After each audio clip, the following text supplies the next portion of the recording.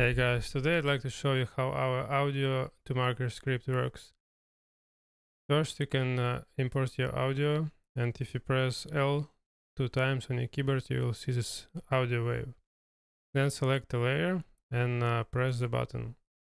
It will create markers on each beat, but uh, since I've adjusted those values I'll just demonstrate that uh, it's not perfect right at the start it uh, works for most uh, like default values works for most um, audios but uh, in our case it's okay but it can do better.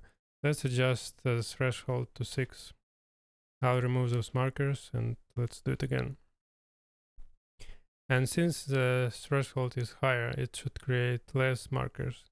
And as you see it is much better now but there are some still double markers right here uh, let's uh, change it to 8.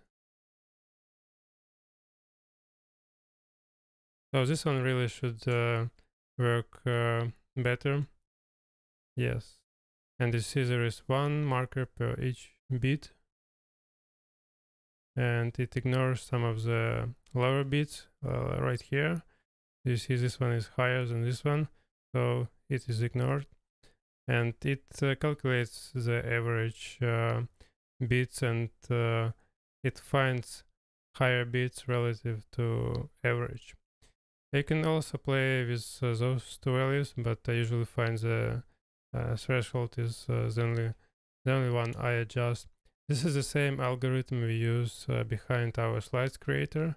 we open source it, allowed other users to use it now, and um, uh, it also can be integrated with K-bar. I have a separate video about that.